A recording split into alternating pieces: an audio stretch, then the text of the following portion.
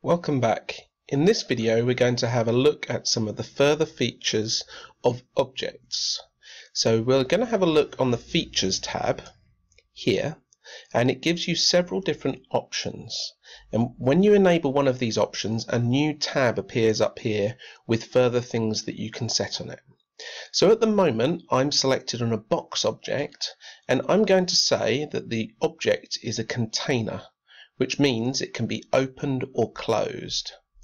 So if I then click on container here, you see the tabs appeared and select it's a container like that, it shows me all of the objects. So when I have a look at the box, it will say there is a box containing and it will give a list of things that the box contains.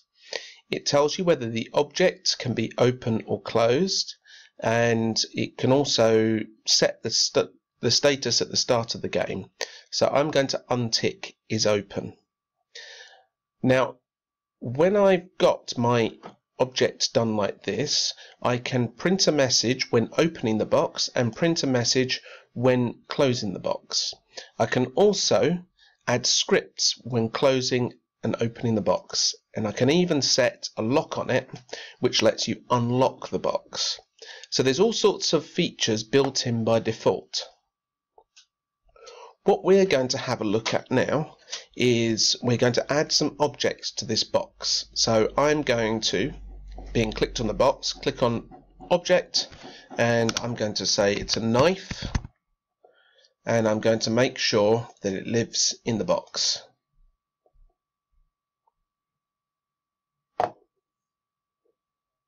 Okay and it will update and you can see the knife is stored under the box here. And then I'm going to add another object which is going to be a uh, wand. And again I add it to the box. Okay. Now each of these objects has its own settings. So for example I can click on the knife and on the inventory I can say yes you can take the knife and I'm going to do the same thing for the wand. Now, when I play my game, what we'll see is that there will be a room with a box in it and we can open the box. So there you can see milk and a box. I click on it, open the box, and then when I say look again, it says you can see milk and a box containing a knife and a wand and I can then take the knife from the box. When I say look again you can see that there's a box containing a wand. So this is a very simple way to get things going and some fun interactivity in your game. I'm just going to talk you through the other features quickly. So the use and give means that you can use the object along with other objects or characters. So you could give the knife to a person or you could use the knife with a piece of ham or some rope. Container we've already looked at, that's boxes. Switchable are things like light switches or projectors or televisions, that kind of thing, and it means you can turn them on and off.